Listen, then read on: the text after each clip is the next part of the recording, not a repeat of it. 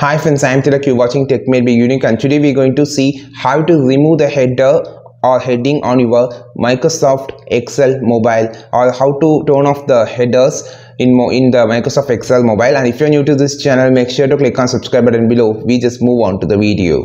So how to remove the header in Microsoft Excel mobile I just going to show in this video. So first of all you just need to click on this plus symbol and open a blank workbook here then you just need to remove the headers. You just need to click on the any cell here. So you will see this option on the on the bottom. Click on this arrow option. Just it's actually in the home section. You just want to change this uh, click on the home section and just change just to it to the view section. After changing to the view section you just click scroll down. You will see a three option called formula bar gridlines and headings.